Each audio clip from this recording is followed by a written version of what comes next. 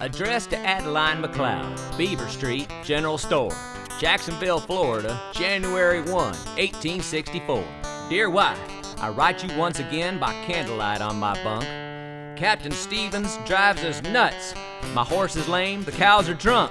Senator Maxwell toured this camp, welcomed by a throng. Less slime being a kettle of boiling okra. Send him back to the capital where he belongs. A sorrier sight I seldom see, of no use to anyone. Red silk tie, perfumed hair, can't ride a horse, can't shoot a gun. Lo, this government abandons us. They are all but criminals and buffoons. The governor is a charlatan. Congress, one big saloon.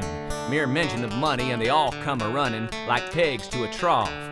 Slip Addie some whiskey in her tea. That should help her with her cough. And tell Samuel if he keeps a doing that, his hand will turn black and fall off. Your affectionate husband, Bobby.